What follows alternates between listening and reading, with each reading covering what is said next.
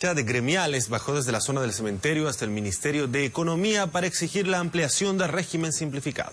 Somos comerciantes,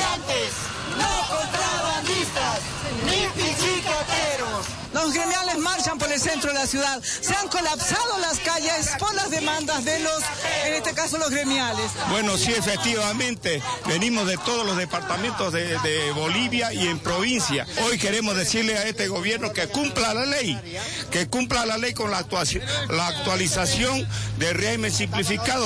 De 35 debe pasar a, 90, a 70 mil y de ahí recién podemos pasar al régimen general. Hay una respuesta del gobierno, señora, que mucha gente se está acogiendo al régimen simplificado, siendo grandes inversionistas y comerciantes.